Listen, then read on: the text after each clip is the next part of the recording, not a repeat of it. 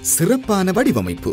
Nine one six hallmark பல வகை கலெக்ஷன்ஸுடன் உங்கள் லக்ஷ்மி ஜுவல்லர்ஸ் பொன்னுருக்கல் மற்றும் தாலிக்கொடியும் செய்து கொடுக்கப்படும் Lakshmi jewellers East Ham London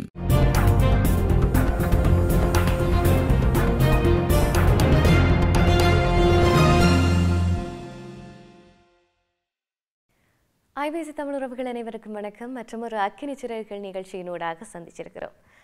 இவ்வளவு காலமும் நாங்கள் இந்த சமூக மட்டத்திலே ஒவ்வொரு படிநிலையிலும் அல்லது ஒவ்வொரு துறையிலும் விடயத்திலும் எதிர்நோக்குகின்ற சவால்கள் சிக்கல்கள் எவற்றையெல்லாம் இந்த சமூகம் பேசக்கூடாது என்று சொல்லியிருக்கோ அவற்றையெல்லாம் பேசியிருக்கிறோம்.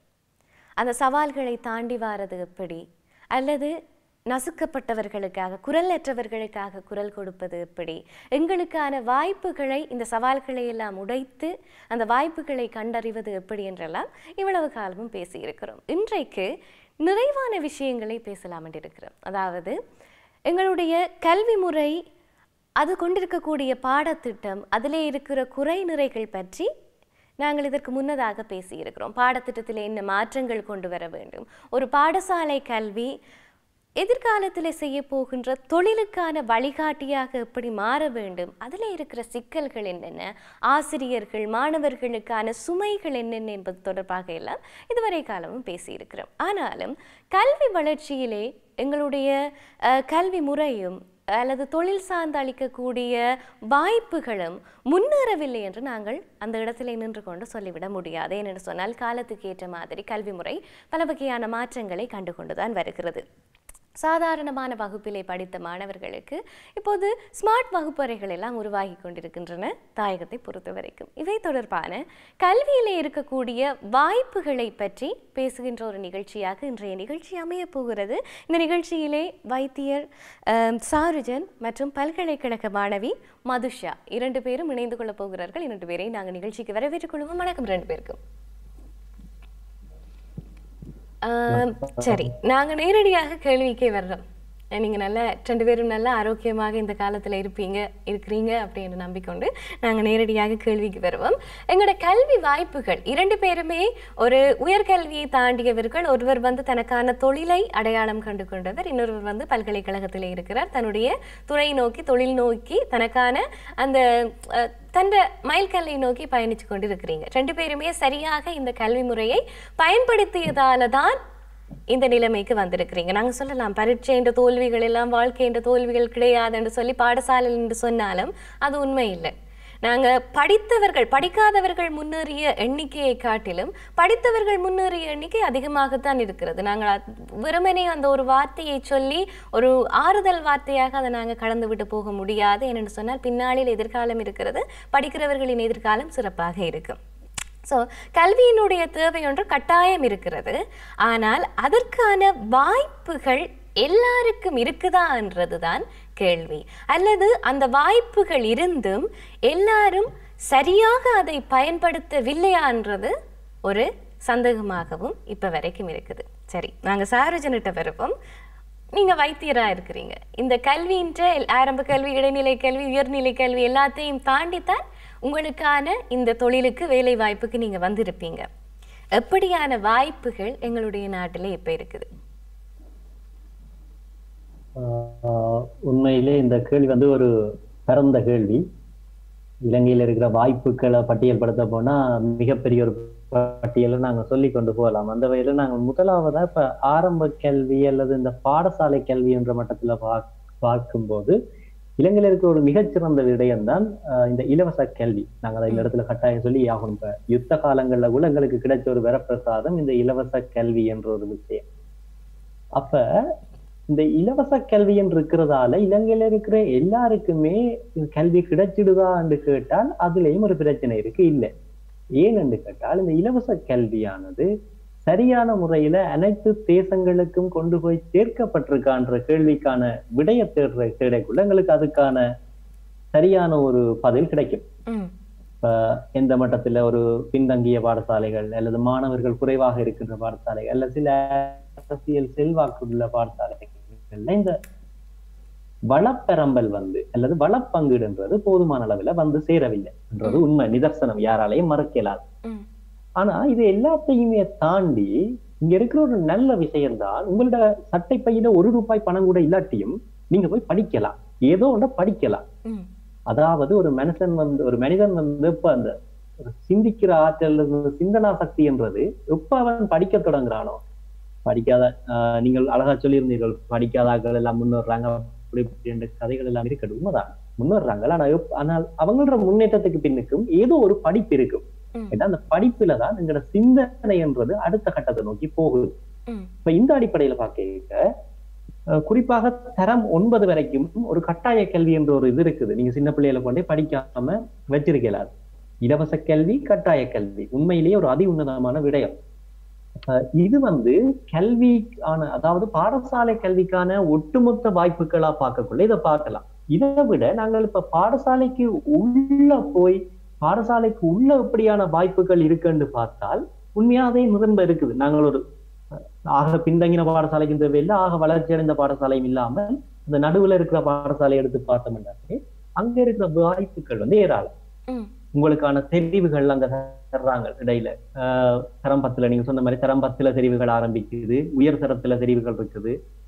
அந்த தெரிவுகள்ல இப்ப வந்து புதுசு புதுசா எட் ஆகி கொண்டிருக்கும். அந்த ஒவ்வொரு வருஷமும் பாத்தீங்கன்னா ஏதாவது ஒரு பாடம் ஒன்றில் எட் ஆகும் அல்லது வந்து அந்த பாடங்கள் தகவமைக்கப்படும் பொருத்தமான முறையில மீள் சீராக்கப்பட்டு கொண்டு இருக்குது. அதுக்குள்ள என்னென்ன வாய்ப்பு இருக்குன்றதை விட முதலாவது வந்து எங்களை தெரிவு செய்யக்கூடிய எங்களோட துறைகளை தெரிவு செய்யக்கூடிய ஒரு வாய்ப்பு மட்டுப்படுத்தப்பட்ட அளவிலாவது அங்க வழங்கப்படுது. அட்லீஸ்ட் ஒரு வைத்தியரா இன்ஜினியரா அக்கௌண்டனா டீச்சரா என்ன எந்த துறைக்குள்ள நான் போறேன்றதையாவது நாங்கள் தெரிவு செய்யக்கூடிய ஒரு வாய்ப்பை இந்த பாடசாலை கல்வி வழங்குது. இப்ப அண்மை காலங்கள்ல பாத்தீங்கன்னா இந்த அண்மை காலத்துல வந்து பாடசாலைகள்ல கொண்டு வரப்படுற இந்த கல்வி மறுசீராக்கங்கள்ல ஒரு மிக முக்கியமான விடயம் இந்த தொழில்நுட்பத்துக்கு முக்கியத்துவம் கொடுத்து கொண்டு வராங்க. அதாவது இந்த ஐடி செக்டர் வந்து அந்த சர்வீஸ் செக்டர்னு சொல்லுவோம். அந்த செக்டர் வந்து இலங்கையிலேயும் வந்து கொஞ்சம் தன்னை முன்னிலைப்படுத்த முனைகிற அதே சமயம் பாடசாலைகள்லயும் அது கொஞ்சம் கொஞ்சம் உட்புகுத்தப்படுது. அது மிகச்சிறந்த ஒரு ஆரோக்கியமான விடயம். எனக்கு தெரிஞ்ச அதுல அட்வான்டேஜ் எடுத்தார்கள் நிறைய பேர் இருக்கிறாங்க. இது அந்த கல்வி தொடர்பான குறித்த அதாவது அந்த கல்வியை பற்றி கல்வி முறைமை பற்றி நேரடியான விஷயங்கள் பாடத்திட்டம். இதை விட நான் இப்ப ஆக டீப்பா போகல இதுல இருந்தால் உங்களுக்கு நேரமும் சுருக்கமா இருக்கிறபடியால் இதை விட இன்னொரு விஷயத்தை நான் சொல்லி இருக்கிற இதை முடிச்சு கொள்றேன் இணைப்பாட விதான செயற்பாடுகள். இந்த இணைப்பாட விதான செயற்பாடுகள் இருக்கிற ஒரு மிக முக்கியமான பிரச்சனை இலங்கையை பொறுத்த வரைக்கும் நீங்கள் ஒரு அது ஒரு சிறுபான்மையினத்துல பிறந்தால் என்னால உறுதிப்பட சொல்லலாது நீங்கள் ஒரு ஸ்போர்ட்ஸ்லயோ அல்லது இன்னொரு இணைப்பாட விதானத்துல போய் நீங்கள் வந்து உங்களோட லைஃபை செட்டில் பண்ணலாம் என்று என்னால உறுதிப்பட சொல்லலாது சில பேர் இருக்கலாம் எடுத்துக்காட்டுகள். அது வரமா சாபமாண்டெல்லாம் தெரியல. என்ன பொறுத்த வரைக்கும் அது வந்து உங்களை அந்த ஒரு நிலைமைக்கு கொண்டு போகாது. இப்ப வெளிநாடுகள்ல இருக்கிற மாதிரி நீங்க ஒரு ஸ்போர்ட்ஸ் செய்தா வந்து உங்களோட லைஃப் செட்டில். தரமாக செய்வீங்களா? ஆனா இங்க வந்து அந்த அளவுக்கு திறமை இருந்தாலும் என்னால உறுதிப்பட சொல்லலாது. ஆனால் இந்த விவாதங்கள் பேச்சு போட்டி பாட்டு கிரியேட்டிவ் ரைட்டிங் அது வந்து ஏதோ ஒரு வகையில மாணவர்கள சிந்திக்கிற ஆற்றலையும் அவங்களோட ஆக்கத்திறனையும் இந்த இணைப்பாட்ட விதானம் தூண்டிக்கொண்டே இருக்கும். அந்த தூண்டுதல் என்ன செய்யும் என்றால் ஆளுமையான மாணவர்களை சமூகத்துக்கு எடுத்துக்கொண்டு வருது. பேரண்ட்ஸ் விடுற ஒரு மிகப்பெரிய பிழை இணைப்பாட விதானங்கள் எங்கட பாடத்திட்டத்தை குழப்புது பிள்ளைங்க படிப்பை குழப்புதுன்ற ஒரு கன்செப்ட்ல இருக்கிறாங்க. அது களையப்படணும். இணைப்பாட விதானம் ஒருவேளை உங்களோட பிள்ளைங்க புள்ளிகளில ஒரு அஞ்சு பத்தை குறைச்சாலும் சமூகத்தில் ஒரு மிகச்சிறந்த ஒரு மிகச்சிறந்த ஆளுமையாக அல்லது ஒரு மிகச்சிறந்த ஒரு மனிதனாக அவன் மிளிர்றதுக்கு இந்த இணைப்பாட விதானங்கள் உதவுது. அப்ப ஷோர்ட்டா சொன்னால் வந்து இவ்வளவுதான் விஷயம். ஒன்று பாடத்திட்டம் உங்களுக்கு தேவையான அறிவை வழங்குது. இணைப்பாட விதானம் உங்களுக்கு தேவையான அத்தனை ஆளுமைகளையும் வழங்குது. ஆகவே என்ன பொறுத்த வரைக்கும் இந்த பாடசாலை கல்வி என்பது ஒரு மிகச்சிறந்த முறையில இலங்கையில கட்டமைக்கப்பட்டிருக்கு. ஆனால் முன்னேற இடம் உண்டு. நன்றி. சாரிஜன் சொன்ன மாதிரி முன்னேற நிறைய இடம் இருக்குது. அதை பற்றி நாங்கள் இனி வரக்கூடிய பகுதிகளில் எல்லாம் தொடர்ந்து பேசுவோம். என்னென்ன மாற்றங்கள் எங்களுக்கு தேவைப்படுது? என்னென்ன விஷயங்கள் தேவையா இருக்குன்னு சொல்லி. இந்த கட்டாய கல்வி அந்த கட்டாய கல்வியிலே சரியாக பெற முடியாமல் அதிலேயே சிக்கல் படக்கூடியார்கள் அதிலேயே நிறைய முட்டுக்கட்டை இருக்கக்கூடிய மாணவர்களும் நிறைய பேர் இருக்கணும் அதுக்கான காரணங்களையும் நாங்கள் கொண்டு வருவோம். இப்போ நாங்கள் மதுஷாட்ட வருவோம். மதுஷா இந்த கல்வி முறையில் நீங்கள் பார்த்த மட்டில் எங்களுடைய கல்வி முறை பல்கலைக்கழகம் போகிற வரையான கல்வியை நீங்கள் பெற்றிருக்கிறீங்க. என்னென்ன மாற்றங்கள் வந்திருக்கு? என்னென்ன வாய்ப்புகள் இருக்குது? உங்களுடைய பார்வையில. நிச்சயமாக. முதலிலே நாங்கள் பார்க்கின்ற போது ஆரம்பத்துல இருந்த கல்வி முறை பாடசாலை கல்வி முறையை விட இப்போது இருக்கிற கல்வி முறையிலே மாற்றங்கள் அதிக அளவில் இருக்கிறது. இன்று எந்த ஒரு மாணவனும் அதாவது இப்ப ஏஎல் சித்தி பெறாத எந்த ஒரு மாணவன் கூட வெளியில நிற்க வேண்டிய அவசியம் இல்லை. ஏனென்று சொன்னால் மூன்றாம் நிலை தொழிற்கல்வி கூட இலங்கையிலே இருக்கின்றது. ஆனா அதை எவ்வளவு தூரம் பயன்படுத்துகிறார்கள்? அது தொடர்பான அறிவு எத்தனை பேருக்கு இருக்கின்றது என்பது ஒரு ஐயப்பாடு. ஆனால் இலங்கை அரசாங்கத்தினாலே மூன்றாம் நிலை தொழிற்கல்வி என்ற ஒரு விடயம் கொடுக்கப்பட்டிருக்கிறது. ஒரு முன்னேற்றகரமான இயல்பு. முதலிலே அவர் சொன்னது போல ஐடி அதாவது ஐடி சம்பந்தப்பட்ட விடயங்களும் அறிமுகப்படுத்தப்பட்டிருக்கிறது. அதே மாதிரி இணைப்பாடு விதான செயற்பாடுகள் சொன்னது போல ஆளுமை விருத்தி. இப்ப பல்கலைக்கழகங்கள் சென்றாலும் சரி அல்லது நாங்க தொழிலை நோக்கி சென்றாலும் சரி எல்லா விடயங்களுக்குமே ஆளுமையை விருத்தி செய்வதற்கு இந்த இணைப்பாடு விதான செயற்பாடுகள் உதவி புரிந்து கொண்டு வருகிறது.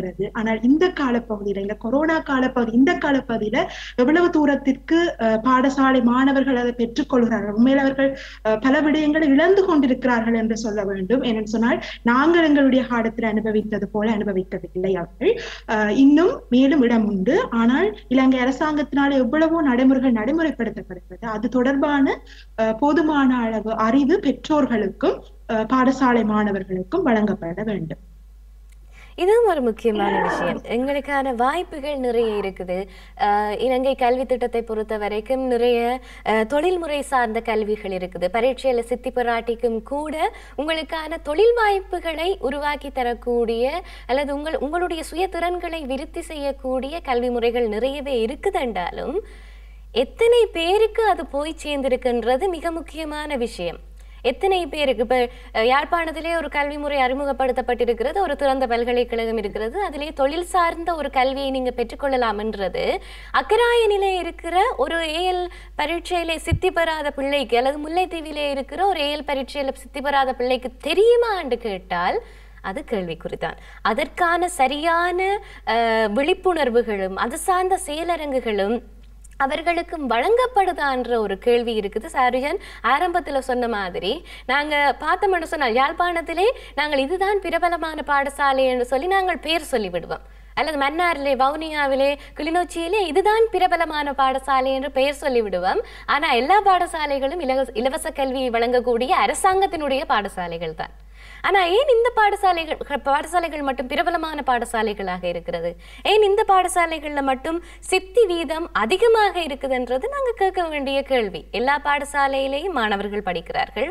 அரசாங்கத்திலே அங்கீகரிக்கப்பட்ட ஆசிரியர்கள் தான் படிப்பிக்கிறார்கள்.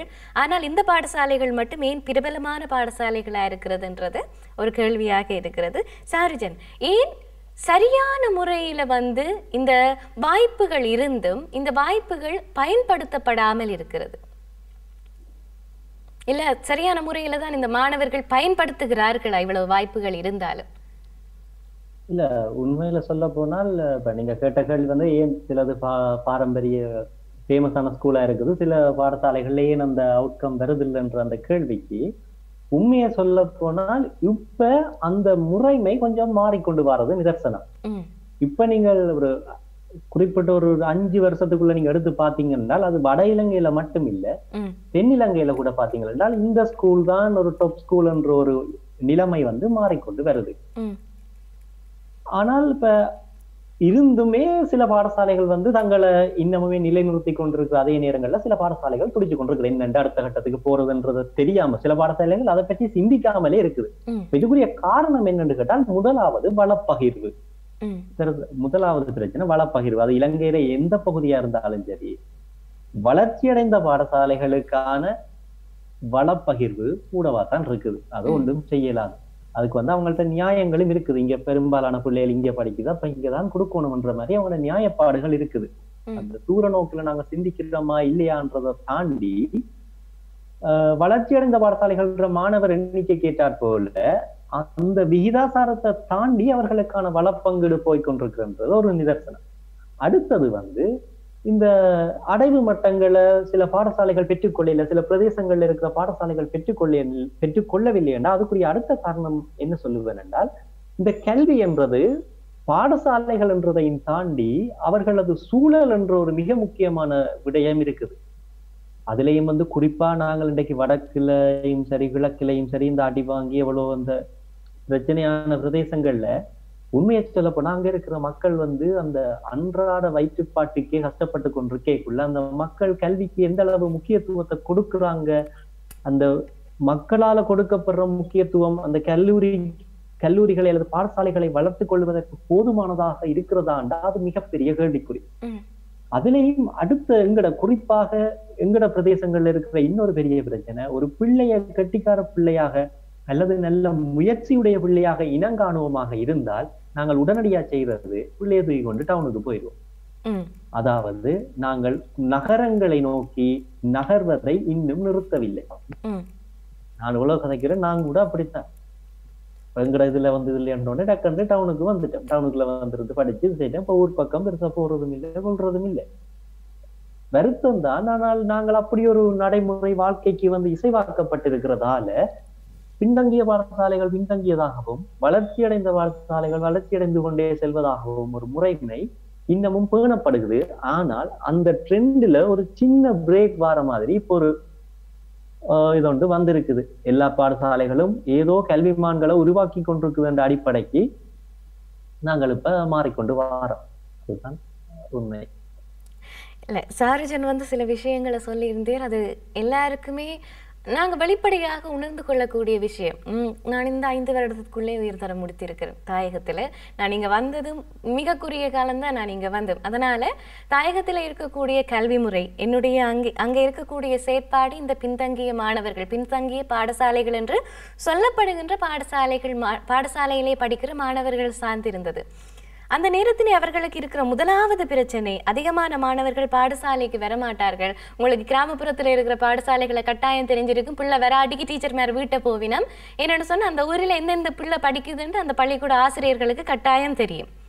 போன முதலாவது அங்கே இருக்கிற பிரச்சனை சாப்பாடை பற்றியே நாங்கள் யோசிக்க வேண்டியிருக்கு. சாப்பாட்டுக்கே யோசிக்கிற நேரத்தில் கல்வி என்றது எங்களுக்கு இரண்டாம் மூன்றாம் பட்சம்தான். என்றதுதான் அந்த மாணவர்களினுடைய மிக முக்கியமான பிரச்சனையாக இருக்கிறது. இத்தரைக்கும் எத்தனையோ என்ஜிஓக்கள் இருக்கிறார்கள்.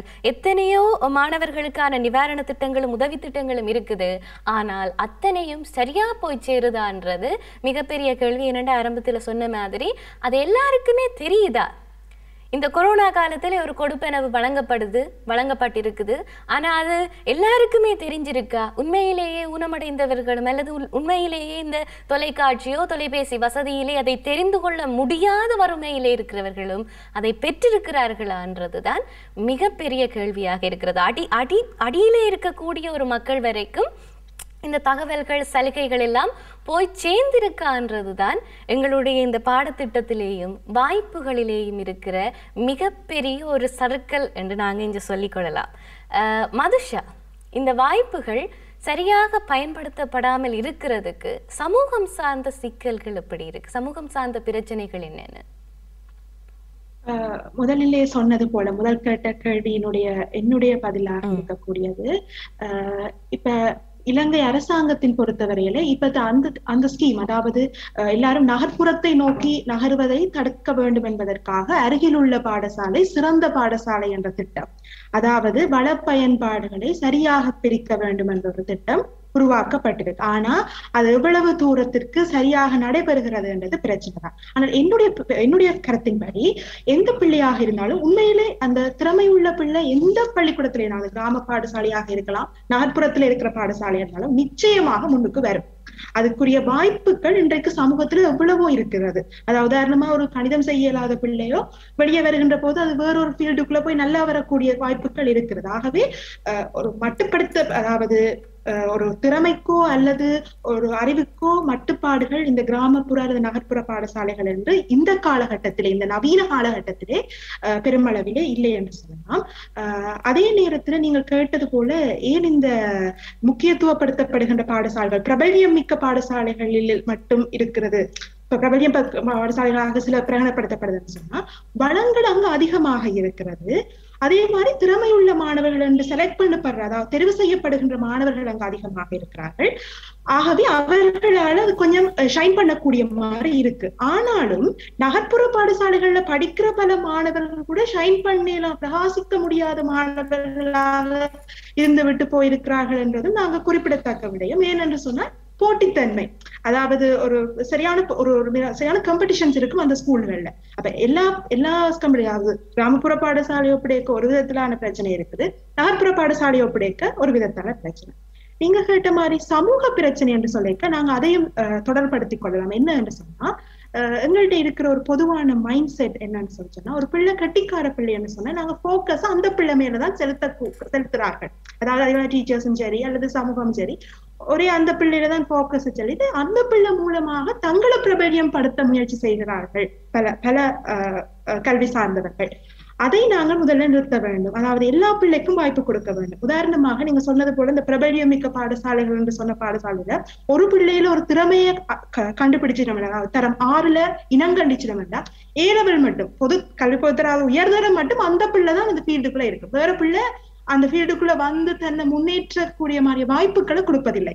அப்படியான ஒரு சமூகம் சார்ந்த பிரச்சனைகள் இருக்கிறது. அதாவது இப்ப அஹ், கல்வி பாத்தீங்கன்னு சொன்னா பிசினஸா போய் கொண்டிருக்கிறதுல கட்டிக்கார பிள்ளையாரவும் அதை ஃபோக்கஸ் பண்ணி அதை வச்சு தாங்க பிரபல்யமாகவும் என்ற ஒரு மைண்ட் செட்டுக்குள்ள இன்றைக்கு சமூகம் வந்துவிட்டு அது ஒரு பிரச்சனையாக இருக்கிறது.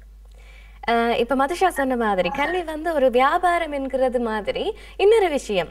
அது ஒரு ப்ரிவிலேஜ் சார்ந்த விஷயமாகவும் மாறி இருக்கிறது. ஒரு ஒரு அந்தஸ்து கௌரவம் சார்ந்த விஷயமாகவும் இப்போ கல்வி மாறி போயிருக்கிறது. இப்போ மட்டும் இல்லை அது நாங்கள் புலமை பரிசில் பரீட்சை வந்தாலே அது எல்லாருக்கும் தெரிஞ்சிருக்கும்.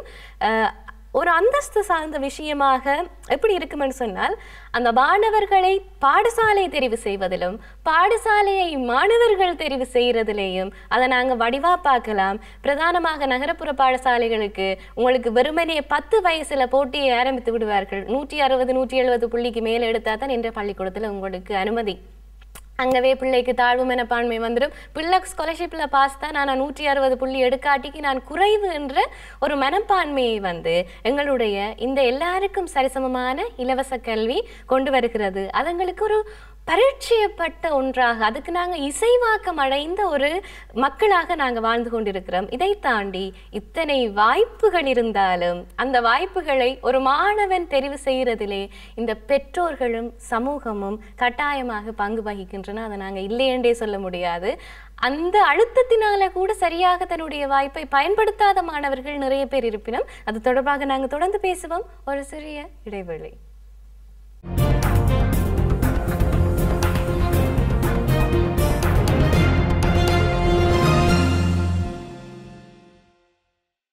சிறப்பான வடிவமைப்பு.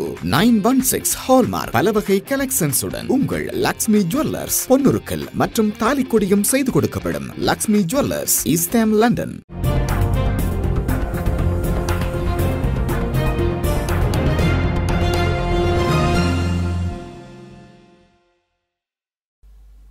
ஒரு சிறிய இடைவேளைக்கு பிறகு அக்கினி சிறகுகளினூடாக சந்திச்சிருக்கிறோம். இந்த இடைவேளைக்கு முதல் சொன்ன மாதிரி இந்த சமூகத்தினுடைய பெற்றோர்களினுடைய அல்லது கல்வி சார்ந்த பாடத்திட்டத்தினுடைய அழுத்தம் என்றது ஆசிரியர்களுக்கும் மாணவர்களுக்கும் இல்லை அப்படின்னு சொல்லி நாங்கள் ஒரு வார்த்தையில் பொதுப்படையாக நாங்கள் மறுத்துவிட முடியாதுன்னு வைப்போம்.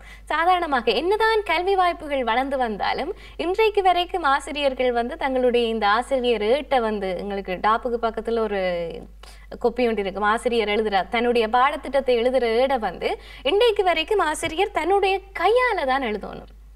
நாங்கள் படிக்கிற காலத்தில் எங்களுக்கு அனுபவம் இருந்திருக்கலாம். உங்களுக்கு இப்போ தெரிஞ்ச ஆசிரியர் வந்து இப்போ ஆசிரியருக்கான ஒரு பிடித்தமான மாணவியோ மாணவரோ இல்லாட்டிக்கு நல்ல ஒரு ஹேண்ட் ரைட்டிங்கோட ஒரு நல்ல மாணவனோ மாணவியோ ஒரு ஆசிரியருக்கு மிக நெருக்கமான ஒரு ஆள் இருக்குமென்று சொன்னால் அந்த மாணவர் தான் அந்த பாடத்திட்டத்தை இருந்து எழுதக்கூடிய மாணவராக இருப்பினோம். இல்லாட்டிக்கு அந்த நாள் ஓகே உங்களை இன்றைக்கு பார்க்கறதுக்காக வந்திருக்கிறோம். எல்லாத்தையும் நீங்கள் வரணும் இன்றைக்குள்ள ஆசிரியர் முதல் நாள் இருந்து எழுது எழுது எழுதுன்னு எழுதுவா அந்த பாடத்திட்டத்தை. இது ஒரு வகையான அழுத்தம் தான் என்னென்னு சொன்னால் தொழில்நுட்ப வாய்ப்புகள் எல்லாம் மிக அதிகமாக வந்திருக்கக்கூடிய காலத்திலேயும் இது இது ஒரு வகையான அழுத்தமாக சொல்லியிருக்கிற ஆசிரியர்கள் நிறைய பேர் இருக்கிறார்கள். இந்த நி- ஒரு நிகழ்ச்சிக்காக ஆசிரியர்களை தொடர்பு கொண்டு கேட்டபோது நான் நினைக்கிறேன் பத்திற்கு ஆறு ஆசிரியர்கள் இதை ஒரு காரணமாக சொல்லியிருக்கேன் என்னதான் நாங்கள் முன்னேறினாலும் என்னதான் ஒரு ஸ்மார்ட் வகுப்பு வந்தாலும் கூட ஆசிரியர் பாடத்திட்டத்தை அவ்வளவு பக்கங்களையும் நாங்கள் கையால் தான் எழுதணும். என்றது எங்களுக்கு ஒரு பெரிய அழுத்தமாக இருக்கிறது. அல்லது ஆசிரியர்களுக்கான அவர்களுடைய குடும்பம் இருக்கிற இடம் வேறாக இருக்கும் அவர்களுக்கு வேலை வாய்ப்பு வழங்கப்படுற இடம் வேறாக இருக்கும். இது கல்வி என்றபடியாக நாங்கள் ஆசிரியர்கள் இங்கே குறிப்பிடுவோம். எல்லா துறையிலேயும் அந்த பிரச்சனைகள் இருக்குத்தான். அல்லது ஒரு மா மாணவன் வந்து இப்போ உயர்தரத்துக்காக கிளிநொச்சியில் இருக்கக்கூடிய ஒரு பிள்ளை ஒரு கணித விஞ்ஞான பாடம் படிக்கிறதுக்காக யாழ்ப்பாணம் வந்து படித்த பிள்ளைகளும் நிறைய பேர் இருக்கிறார்கள். நாங்க படிக்கிற காலத்திலேயே நாங்க அதுகளை பார்த்துருப்போம். நீங்கள் குடும்பம் ஒரு இடத்துல இருந்து இன்னொரு இடத்துக்கு மிக நீண்ட பிரயாணம் செய்து வந்து படிப்பதோ படிப்பிப்பதோ இந்த கல்வி சார்ந்த வாய்ப்புகளை அல்லது அதில் இருக்கக்கூடிய ஒரு ஈடுபாட்டை மங்க செய்கிற விஷயமாக இருக்கும். என்னன்னு சொன்னால் எல்லாருமே மனிதர்கள் அவர்களுக்கு இடையில அழுத்தங்கள் தானாக உண்டாகிறதுக்கான வாய்ப்புகள் மிக அதிகமாக இருக்குது. சாருஜன் எப்படியான தடைகள் அல்ல இந்த வாய்ப்புகள் இவ்வளவு இருந்தாலும் எங்கள் உயர்தரம் உயர்தரமோ பல்கலைக்கழகமோ இல்ல பாடசாலை காலங்களிலே வந்து ஒரு சிறந்த இலவச கல்வி பாடத்திட்டம் எல்லாமே இருந்தாலும் கூட அந்த வாய்ப்புகளை மங்கச் செய்கிற விஷயங்கள் இருக்குத்தானே? அழுத்தங்கள் இருக்குத்தானே? எப்படியான அழுத்தங்கள் அங்க இருக்குது? இது வந்து உண்மையிலேயே ஒரு பேசப்பட வேண்டிய விட- விடயம். இந்த அழுத்தம் புற அழுத்தங்கள் என்றது. நாங்கள் அதுக்குள்ள போறதுக்கு மேல நான் இன்னொரு சின்ன விஷயத்தை இதுல சொல்லிக் கொள்ள விரும்புகிறேன் என்றால் இந்த ஏலவெல்ல வந்தோடனே தான் பிரதானமாக நாங்க எந்த துறை என்றதை தெரிவு செய்ய போறோம். இந்த துறை தெரிவுக்கு முன்னர் எங்கள்கிட்ட இருக்கிற ஒரு மிகப்பெரிய பிரச்சனை நான் தெரிவு செய்ய போற துறை எப்படி இருக்க போகுதுன்னு யாருக்கும் தெரியாது. அது பற்றிய எந்த விதமான அறிவுமே வழங்கப்படுவது இல்லை. பாடசாலையிலையும் சரி சுற்றத்தாலையும் சரி ஏன் கேம்பஸ்ல இருக்கிற சீனியர்ஸ் ஆல கூட நீ மெடிசின் வந்து என்றால் இப்படித்தான் இருக்கும். உங்க லைஃப் இதுக்கு பிறகு இப்படி இருக்க போகுது. நீங்கள் ஒரு இன்ஜினியரிங் ஸ்டூடெண்ட் ஆகினீங்கள் என்றால் இப்படி இருக்க போகுது. அல்லது இந்த துறை எடுத்தீங்கள் என்றால் வாழ்க்கை இப்படி இருக்க போகுதுன்ற அந்த ஒரு பகுதி இங்க இல்லாம போறது இலங்கையினுடைய கல்வி திட்டத்திலோ அல்லது இலங்கையினுடைய ஒட்டுமொத்த நடைமுறையிலோ இருக்கிற மிகப்பெரிய குறைபாடு. உதாரணத்துக்கு இப்ப மெடிக்கல் ஃபேக்கல்டி எடுத்துக்கொண்டீங்கன்னாலே இப்ப நான் நேர்ல கண்டது. ஐம்பது வீதமான மாணவர்களுக்கு ஒரு டாக்டர் இந்த லைஃப் அல்லது ஒரு மெடிக்கல் ஸ்டூடெண்ட் இந்த லைஃப் இப்படித்தான் இருக்குமென்று அவங்களுக்கு ஏலவலுக்கு முதல் தெரிஞ்சிருந்தால் சூரா மெடிசன் எடுத்திருக்க மாட்டாங்க. அவங்க அங்க எடுத்ததுக்கான காரணங்கள் என்ன என்று பார்க்கக்குள்ள நீங்க சொன்ன அழுத்தங்கள் வருது. என்ன அழுத்தங்கள் என்று பார்த்தால் பிரதானமா முதலாவது கல்லூரியால வழங்கப்படுற அழுத்தம் இரண்டாவது எங்களுடைய வீடு. மூன்றாவது எங்களுடைய சுற்றம் அந்த அழுத்தங்கள் வந்து நீ இதைத்தான் செய்யணும் என்று வாரதை விட உங்களால இதுதான் தம்பி செய்யலும் இதை விட வேற வழி இல்லை என்ற மாதிரியான ஒரு சிந்தனை வந்து. நாங்கள் வந்து ஆறாம் ஆண்டுக்கு வந்தோடனேயே விதைக்கப்பட்டது அது அப்படின்னா எந்த மகன் டாக்டர் அல்லது எந்த மகன் என்ஜினியர் என்ற அந்த ஒரு வசனம் எப்ப சொல்லப்படுதோ மறைமுகமாக நாங்கள் அந்த விஷயங்கள் திணிக்கப்படுறோம். சொல்லப்போனா எனக்கு ஏலவலுக்கு வந்தோடனே எந்த மைண்டுக்குள்ள இருந்தது? நான் பயோ படிக்க போறேன்? மேத்ஸ் படிக்க போறேன்? அதை தவிர நான் வேற ஒன்றையும் யோசிக்கல என்றால் எந்த மூளை வந்து அதுக்காக பழக்கப்படுத்தப்படுது. பிறகு ஏன் நான் பயோ எடுத்து நான் என்று பார்த்தால் பாடசாலை. ஏன் எல்லாரும் மேத்ஸுக்குள்ள போறீங்க? கொஞ்சம் பேர் பயோக்குள்ள வாங்க. அங்க பாடசாலையினுடைய சில அழுத்தங்கள் என்று சொல்லலாம். அது சில அவங்க காட்டி விடுற வழி எங்களுக்கு அப்படி அமையுது. இப்ப நீங்க சொன்ன மாதிரி அது என்னத்துக்காக வேண்டி இருக்கலாம்? முதலாவது அந்தஸ்து என்ற ஒரு விஷயம் வந்தது. இந்த அந்தஸ்து என்ற விஷயத்தை நான் ஏலவெல்ல வச்சு பெரிய அளவுல ஏற்றுக்கொள்ள மாட்டேன் ஏனென்றாப்ப அதுல இன்னொரு பிரச்சனை இருக்குது. ஆனால் ஏலவெல்ல வச்சு ஏன் நாங்கள் இந்த பயோமென்ஸுக்குள்ள டிரெக்ட் பண்ணப்படுறோம் என்றால் நாங்கள் வாழ்ற சூழல். அவங்களுக்கு இருக்கிற பயம் அப்படி வெளிப்படுது. பிள்ளை கொமர்ஸுக்குள்ளேயோ ஆர்ட்ஸுக்குள்ளேயோ அல்லது வேறொரு துறைக்குள்ளேயோ போனா வேலை கிடைக்காம போயிருமோ? இதென்றால் எங்கேயோ வேலை எடுத்துடலாம் அதாவது எங்களுடைய இனமாக நாங்கள் இப்ப சர்வைவல் என்றதை தேடிக்கொண்டு திரிகிறோம். அவ்வளவுதான். எங்கட இனத்தின் இது வந்து எனக்கு பிடிச்சதை செய்து ஒரு ஆரோக்கியமான சூழலை உருவாக்கி வாழ்க்கையின் அடுத்த கட்டத்துக்கு போகணும்ன்றதெல்லாம் ஒரு பொ- பொதுவான இனமாக பார்க்கக்குள்ள எங்கள்கிட்ட அதெல்லாம் இல்லை. எங்களுக்கு தேவை இந்த நாட்டிலேயோ எங்க போனாலோ எங்களுடைய தேவைகளை நிறைவு செய்து கொண்டு ஒரு வேலை இருக்கணும். அடிப்படை தேவைகளை நிறைவு செய்து கொண்டு நாளைய நாளுக்கு என்ன செய்யறது யோசிக்காமல் நிம்மதியாக வாழக்கூடிய ஒரு வாழ்க்கை தேவை. அதுக்கு என்ன வழி என்று கேட்டால் அந்த வேலை நான் உண்மையா சொல்லுவேன். இப்ப இந்த துறைகள் எடுக்கக்குள்ள அதுக்கான கேரண்டி வந்து சூறா கிடைக்கும். ஆனால் அவனுக்குரிய திருப்தி கிடைக்குமா இல்லையாண்டெல்லாம் எனக்கு தெரியாது. அதெல்லாம் இல்லை உண்மையா இல்ல. ஆனால் அந்த சர்வைவல்ன்றதை நோக்கி ஓடிக்கொண்டிருக்கிற ஒரு இனமாக அவங்களோட அந்த எதிர்பார்ப்புகளையும் இதுல மதிக்க வேண்டிய ஒரு கட்டாயம் எங்கள்கிட்ட இருக்குது. ஆனால் மிக விரைவில் காலம் இதை மாற்றும். இந்த முறைமை மிக விரைவில் மாற்றப்படும். குறிப்பாக அந்த டெக்னாலஜி என்று அறிமுகப்படுத்தப்பட்டிருக்கிற துறை இந்த நாலு துறைகளையும் விழுத்தும் மிக குறுகிய காலத்துல விழுத்தி எல்லாத்தையுமே எல்லார மனசுலையுமே எது எடுத்தாலும் வாழ்க்கையின் அடுத்த கட்டத்தை பார்க்கலாம் என்ற உண்மையை மிக விரைவில் விதைக்கும் என்றதுதான் என்னுடைய நம்பிக்கை. அது விதைக்கப்படணும். பட்டால்தான் நாங்கள் காசோட வாழ்றோமோ இல்லையோ ஆரோக்கியமான சூழலில் எங்களுடைய அடுத்த சமுதாயம் வாழும் சாரஜன் இப்போ சொன்ன மாதிரி ஓகே. இந்த கல்விக்கான தொழில் வாய்ப்புகள் ஒரு கேள்வியாக இருக்குது. இது இது ஒரு சந்தேகமாக இருந்தது. இந்த கல்வி வாய்ப்புகள் நிறையவே இருக்குது. தொழில் கல்விகள் எல்லாம் நிறையவே இருக்குது. அதாலே வெளியில வரக்கூடிய அத்தனை பேருக்கும் இந்த கல்வி வாய்ப்புகளை பயன்படுத்துகிற அத்தனை பேருக்கும் தொழில் வாய்ப்புகள் எதிர்காலத்தில் இருக்குதான்னு சொன்னால் அதுவும் ஒரு கேள்வியாக இருக்கு. என்னன்னு சொன்னால் எங்களோட நாட்டில் நாங்கள் ஒரு கணிசமாக நாங்கள் பார்க்குறோம் வேலை இல்லாத பிரச்சனை. எங்களுக்கு தெரிஞ்ச ஓரிருவர் கூட வேலை இல்லாமல் இருப்பினோம். எங்களுடைய உறவுகள் தெரிந்தவர்கள் என்று பார்க்கக்குள்ள அதிலேயே வேலை இல்லாதவர்கள் நிறைய பேர் இருக்கணும் அதே மாதிரி இந்த சமூக அந்தஸ்து சார்ந்த விஷயத்துக்கு நாங்கள் வரையக்குள்ள எங்களுக்கு தெரிந்த ஒரு வட்டத்தில் நாங்கள் பார்ப்போம் எல்லாருமே சரிசமமாக இருக்கிறார்கள். எல்லாருமே இயல்பாக இருக்கிறார்கள். முந்தி காலம் மாதிரி இல்லை. இப்போ எல்லாருமே ஒரு கல்வி முக்கியமான ஒன்று என்கின்ற ஒரு கட்டத்துக்குள்ளே வந்திருக்கிறார்கள் என்றதுக்காக கல்வி சார்ந்து எல்லாருமே முன்னேறிவிட்டார்கள் என்ற ஒரு பொதுப்படையான முடிவுக்கு நாங்கள் வந்துவிட முடியாது.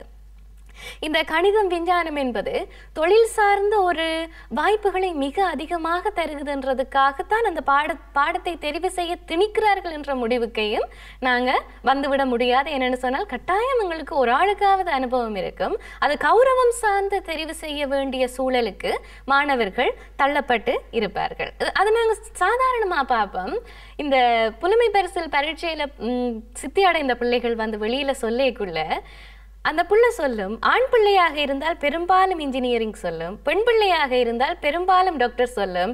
எங்கட வீட்டில் சொல்லிவினம் நான் கணிதம் எடுக்க போயக்குள்ளேயும் எங்கட வீட்டில் சொன்னது இத்தனைக்கும் நீ பிடிச்சதை படி என்று சொன்ன வீட்டிலேயும் சொன்ன விஷயம். பொம்பளை பிள்ளை இப்படி மேட்ச் படிக்கிறது.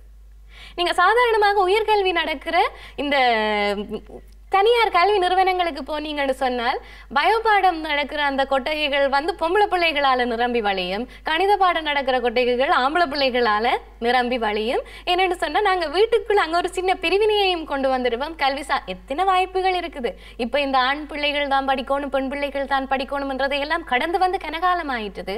ஆனாலும் எங்களுடைய சமூகம் இன்னமும் அந்த சிந்தனையில இருந்து முற்றுமுழுதாக வெளியில வந்துட்டேன்னு நாங்க சொல்லலாது அஹ் ஆயிரம் மாணவர்கள் படிக்கிற இடத்துல இருநூறு மாணவர்கள் கணிதம் படிக்கிறார்கள். எண்ணூறு ஆண் மாணவர்கள் கணிதம் படிக்கிறார்கள். இன்னொரு இருநூறு பெண் பிள்ளைகள் படிக்கிறார்கள் தான் ஆனாலும் அந்த இருநூறு பிள்ளைகள் இப்போ கணிதம் படிக்கணும் தானே என்றதுக்காக எல்லா பெற்றோர்களுமே மாறிவிட்டார்கள் என்ற ஒரு ஒரு பொதுவான கருத்துக்குள்ளே நாங்கள் வந்துவிட முடியாது.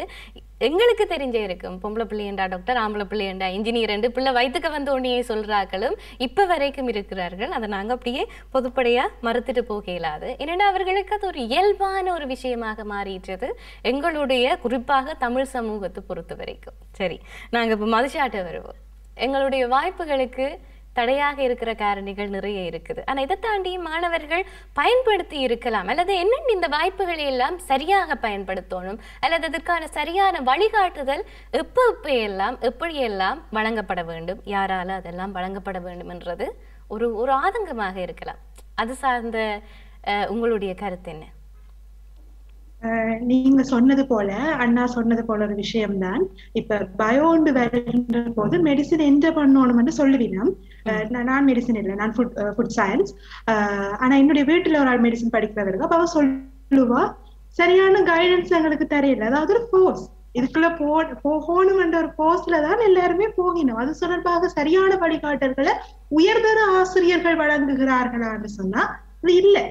எல்லாரும் த்ரீ எடுக்கணும் டூ ஏபி எடுக்கணும். ஆனா அங்கால என்ன லைஃப் போக போகுது எப்படி போய் இருக்க அஹ் நான் நினைக்கிற மெடிசன் எடுக்க ஆறு வருஷம் அதுக்குள்ள விட்டு பின் திரும்பியும் தொடர்ச்சியா படிச்சு கொண்டிருக்க வேண்டிய இதுகள் இருக்கு. அப்ப அவை மொத்தமாக தங்களுடைய வாழ்க்கையை அதுக்குள்ள அர்ப்பணிக்க இது தொடர்பாக முதலே அவைக்கு தெரிஞ்சிருக்க. ஏலவல் எக்ஸாம் எடுக்கிறதுக்கு முதல்ல தெரியுமான்றது சந்தேகம் தான் அப்ப சரியான வழிகாட்டல்களை முதல்ல ஆசிரியர்கள் வழங்க வேண்டும். இரண்டாவது பெற்றோர்கள் விளங்கிக் கொள்ள வேண்டும். நாங்க மன சந்தோஷத்தோட சந்- அஹ் ஆரோக்கியத்தோட மன ஆரோக்கியத்தோட இருக்க வேண்டும் என்றதை பெற்றோர்கள் விளங்கிக் கொள்ள வேண்டும். அதாவது இந்த பிரிவினை பாத்தீங்கன்னா சின்ன வயசுல இருக்கு. இப்ப அது நார்மலி இப்ப கேர்ள் என்று சொல்லிக்க ஒரு பொம்மையை வாங்கி கொடுக்கறது பாய் என்று சொல்லிக்க ஹெலிகாப்டர் வாங்கி கொடுக்கறது அது ஆரம்பிச்சிடும். அப்படியான அந்த மைண்ட் செட்டை முதல் இல்லாம பண்ணணும். ரெண்டாவது பிள்ளைகளின் மன ஆரோக்கியத்தையும் பிள்ளைகளின் திறமையின் அடிப்படையில தான் நாங்க பார்க்க வேண்டும். அதாவது அவர்களால தொடர்ச்சியாக அந்த கரியரை கொண்டு போக முடியுமா? சில பேர் கெட்டிக்கார பிள்ளையா இருக்கும். ஆனா அந்த பிள்ளைக்கு பொறுமை இருக்காது. சில கரியர் ஒத்து வராது அந்த பிள்ளைக்கு. சோ அதை சரியா ஐடென்டிஃபை பண்ண வேண்டும் அந்த ஸ்கில் ஐடென்டிஃபை பண்ண வேண்டும் எல்லாருக்கும் எல்லாம் வராது. அப்ப முதல்ல சரியா ஐடென்டிஃபை பண்ணி அந்த பிள்ளையை டிரெக்ட் பண்ண வேண்டியது முதலாவது விஷயம். ரெண்டாவது விஷயம் தன்னம்பிக்கை கொடு தன்னம்பிக்கையை கொடுக்க வேண்டும் ஆசிரியர்கள். எந்த ஒரு நிலையிலையும் தோல்வியை கண்டா கூட அதுல இருந்து அசராம அடுத்த படிக்கு நகர போறது. இன்றைக்கு பாக்க உதாரணமா சொல்லுகின்ற போது உயர் தரத்துல ரிசல்ட்ஸ் வந்த பிறகு எல்லாரும் கைட் பண்றது ஒன்று மெடிசின் ரெண்டாவது பேராமெடிக்கல்ஸ். ரெண்டையும் தவிர ஃபீல்டு இல்லாத மாதிரி தான் சொல்லுவீங்க. ஆனா எவ்வளவோ ஃபீல்டு இருக்கு. ஃபார் எக்ஸாம்பிள் பயோசயின்ஸ் எடுத்தா பயோசயின்ஸ் எடுத்து தனியே இருந்த அந்த கோர்ஸ் இப்ப அனிமல் சயின்ஸா மாறி இருக்கு ஃபுட் சயின்ஸா மாறி இருக்கு ஃபுட் டெக்னாலஜியா மாறி இருக்கு வேற வேற பாக்க கிரீன் டெக்னாலஜியா மாறி இருக்கு. இப்படி எவ்வளவோ டெக்னாலஜி சார்ந்த விஷயங்கள் ஃபுட் குவாலிட்டி மேனேஜ்மெண்ட் இப்படி எத்தனையோ டிகிரிஸ் வந்திருக்கு அப்ப சரியான வழிகாட்டல்களை விளங்கிக் கொள்ள வேண்டும். உலகத்துல என்ன நடக்குதுன்றதை முதல் ஆசிரியர்களும் பெற்றோர்களும் விளங்கிக் கொள்ள வேண்டும். நாங்க எங்களுடைய எங்களுடைய சமூகத்துல என்ன பிரச்சனை சொன்னா குண்டு சட்டிக்குள்ள குதிரை ஓட்டுற மாதிரி எங்களுக்கு கவர்மெண்ட் ஜாப் வேணும் எங்களுக்கு பாஸ் அவுட் பண்ணினோம் ஜாப் வேணும். அது என்ன செய்யணும்னு சொன்னா உதாரணமா என்னுடைய ஃபீல்டு ஃபுட் சயின்ஸ் எடுக்க உடனே என்ன செய்யணும்னா லேடிஸ் என்ன செய்யணும்னா பாஸ் பண்ணி வேணும் சரி தானே ஏதோ கஷ்டப்பட்டு பிஎஸ்சி எடுத்து போட என்ன செய்யணும்னா அடுத்தது டீச்சிங்குக்குள்ள போயிருவிடும். என்னன்னு சொன்னா இப்ப உண்மையா இது டீச்சிங்குக்குரிய கோர்ஸ் இல்ல. இது இதுக்குரிய ஸ்கோப் வேற மாதிரி இருக்கு. நியூட்ரிஷன் டெக்னாலஜின்னு பிரியுது? ஆனா அதை பற்றி உணர்ந்தாம உடனே என்ன செய்யணும்னு சொன்னா அங்க எங்கட அமு- அடுத்தம் அடுத்தது திருமணம் என்று வருகின்ற போது பேலி எடுக்கணும். சோ அவ டீச்சிங்குக்குள்ள போயிடும். டீச்சிங்குள்ள போயிருந்து என்ன சொல்லுவேன் சொன்னா இந்த கோர்ஸ் சரியில்லை. இந்த கோர்ஸ் படிச்சா வேலை கிடைக்காது என்று சொல்லி ஒரு மைண்ட் செட் இப்படியான மைண்ட் செட்டுகளை விடுத்துட்டு ஒரு தூர நோக்கோட சிந்திக்க வேண்டும். தங்களுடைய திறமைய ஆராய வேண்டும். அது சரியான வழிகாட்டல்கள் எந்த ஆசிரியர்கள் வழங்குகிறார்களோ இல்லையோ முக்கியமாக உயர்தர ஆசிரியர்கள் வழங்க வேண்டும். என்னன்னு சொன்னா அவர்கள் ஒரு டிகிரி கம்ப்ளீட் பண்ணிட்டு வந்தார்கள் அவைக்கு அதுக்குரிய கெப்பாசிட்டி இருக்கும். சோ நிச்சயமாக வழங்க வேண்டும். அது தொடர்பாக பெற்றோர்களுக்கும் அறிவுறுத்த வேண்டும். மதுஷா சொன்ன மாதிரி இதுல ஒரு விஷயத்தை நாங்க குறிப்பிட்டு சொல்லிக்கலாம் மதுஷா சொன்னவா?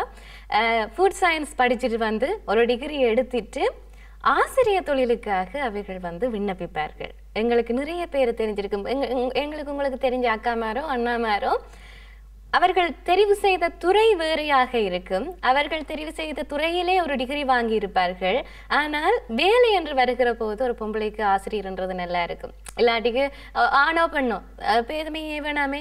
ரெண்டு பேருக்கும் ஆசிரியர் தொழில்ன்றது நல்லா இருக்கும். என்னென்னு சொன்னால் விடிய ஏழு மணிக்கு போயிட்டு மத்தியானம் ரெண்டு மணிக்கு வந்துடலாம். உங்களுக்கு அதுக்கு பிறகு ஸ்ட்ரெஸ் இல்லை.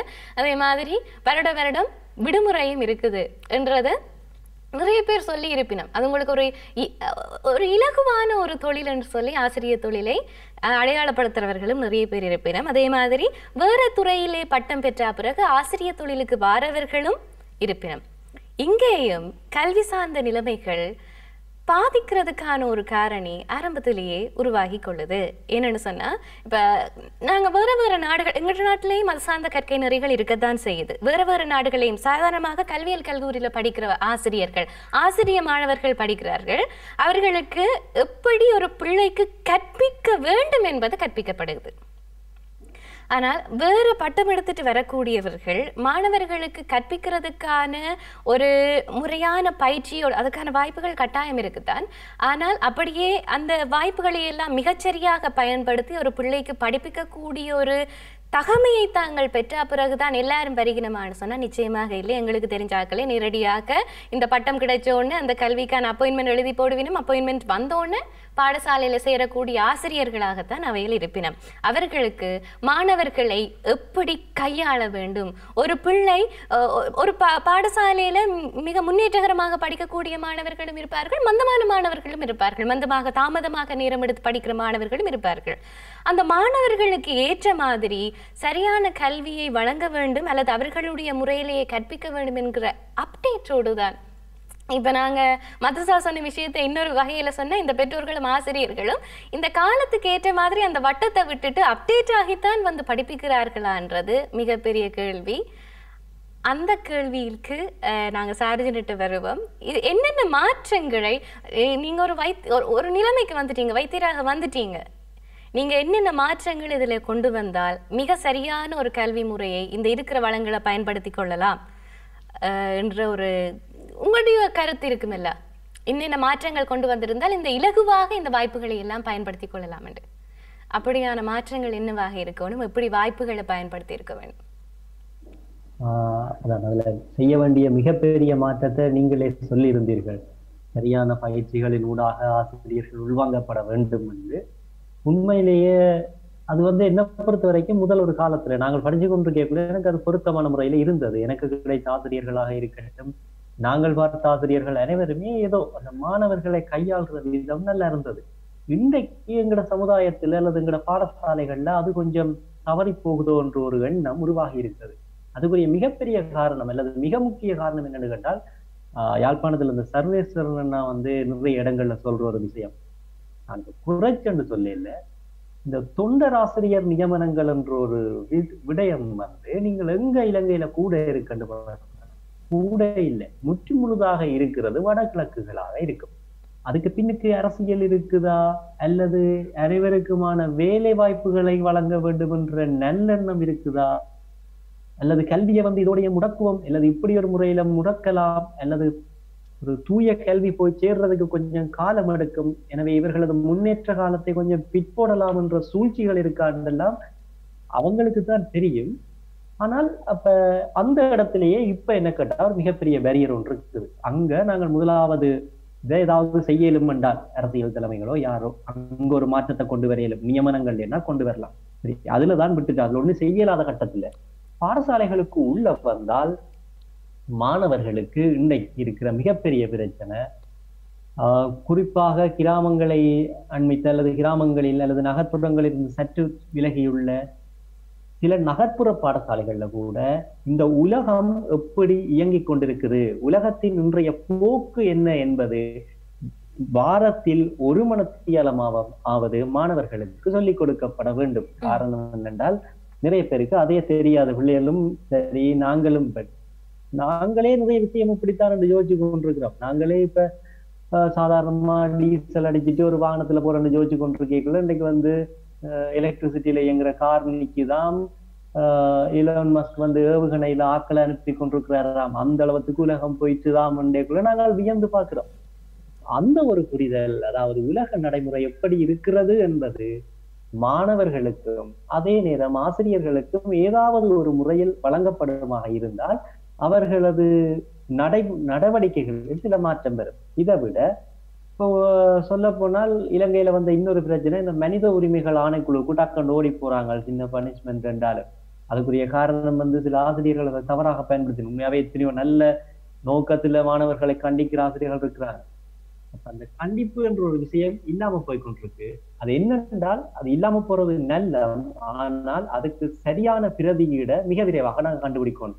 எப்படி பிள்ளைகளை சொல்லி அன்பாலையோ அன்பால திருத்தலாம் என்று சும்மா ஒரு வசனத்துல சொல்லிட்டு விடாமலுக்கு அவனுக்கான ஒரு மாணவனை அல்லது ஒரு மாணவ சமுதாயத்தை அடுத்த கட்டத்துக்கு கொண்டு போறதுக்கான ஸ்ட்ராட்டஜியை கல்லூரிகள் உருவாக்க வேண்டும்.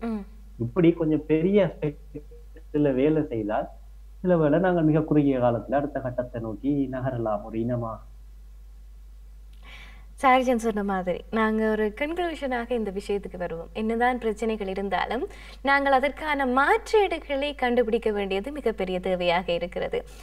ஒருவருடைய ஒரு தனிநபருடைய மாற்றம் தான் ஒட்டுமொத்தமாக சமூகத்தினுடைய மாற்றமாக இருக்கும்ன்றது எல்லாருக்குமே தெரியும். நாங்கள் எல்லாரும் ஒன்று சேர்ந்தது தான் ஒரு சமூகம்.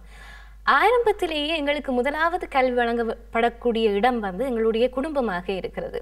ஒரு பிள்ளைக்கு சிவர் அடிச்சிட்டேன்னு சொன்னேன். இல்லை பிள்ளை சிவரில் போய் அடிச்சிருக்கும் தன் தலையை உடனே அம்மா சிவருக்கு அடிப்பா. அந்த இடத்துல நாங்கள் அன்பால் எல்லாத்தையும் மாற்றலாம்ன்ற வார்த்தையை செயலிழக்க செஞ்சு விடுவோம்.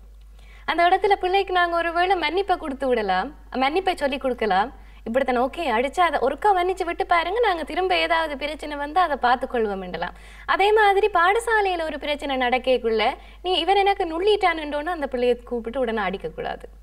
அடிக்கிற இது அடிக்கிறது. இதுதான் சாதாரணமான வழக்கமாக இருக்கும். நாங்கள் செய்கின்ற தவறுகளுக்கு தண்டனை தான் அதுக்கும் உடல் சார்ந்த அல்லது வார்த்தைகள் சார்ந்த ஒரு தண்டனையை தான் இதுவரை காலமும் நாங்கள் வழங்கி கொண்டிருந்தாங்க சாரிஜன் சொன்ன மாதிரி அதுக்கு மாற்றீடாக என்னென்று நல்ல கருத்துக்கள் மூலமும் அல்லது மாணவர்களினுடைய சிந்தனை விருத்தியின் மூலமாகவும் அந்த மாற்றத்தை கொண்டு வர போக போகிறோம் என்பது நாங்கள் எல்லாருமே ஆய்வு செய்து எங்களை நாங்களே நாங்கள் ஒரு மீள் பரிசீலனைக்கு உள்ளாக்க வேண்டிய ஒரு காலகட்டத்தில் இருக்கிறோம்.